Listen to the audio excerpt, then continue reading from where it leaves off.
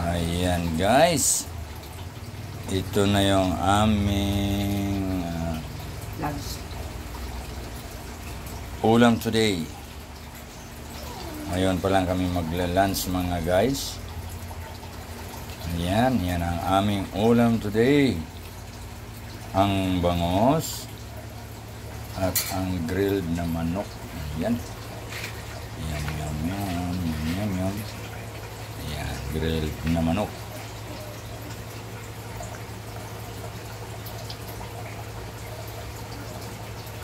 Ayan.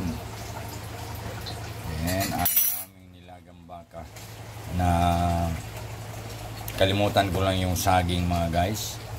Ayan. Na, nagpunta ako sa mga kapitbahay, wala din naman wala din silang saging kaya ito kulang siya mga guys.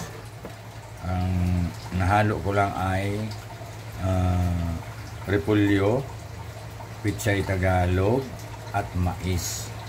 Okay, gabi. Pati ang gabi nakalimutan, dapat lalagyan ko siya ng gabi. Ano dyan, may gabi. Nakalimutan ko lang siya mga guys, pero okay lang. Lang. Next time na lang. At least sulit ang ating lunch today. Ayan. May 1 liter coke. Hindi ba? Okay lang ganyan. At least sulit. Ayan.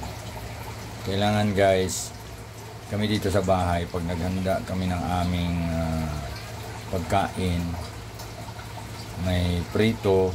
Ayan. Tulad nito, pritong bangos. Then, mayroon kaming grilled chicken. Brace yan.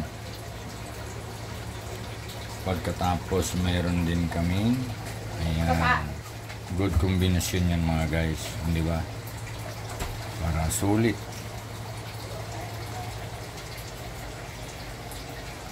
Busugan talaga to mga guys. Ayan. Sana nag-enjoy kayo mga guys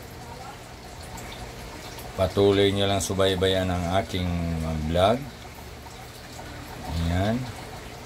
Bisitahin nyo rin ang aking YouTube channel. Chef Noki TV. Ayan. So, ayan ang aming handa today ng aming lunch. Magla-lunch na kami mga guys pagkaluto ng rice. Rice na lang ang kulang mga guys.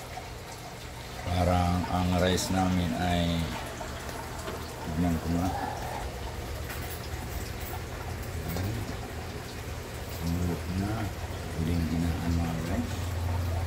Yummy, yummy, yummy.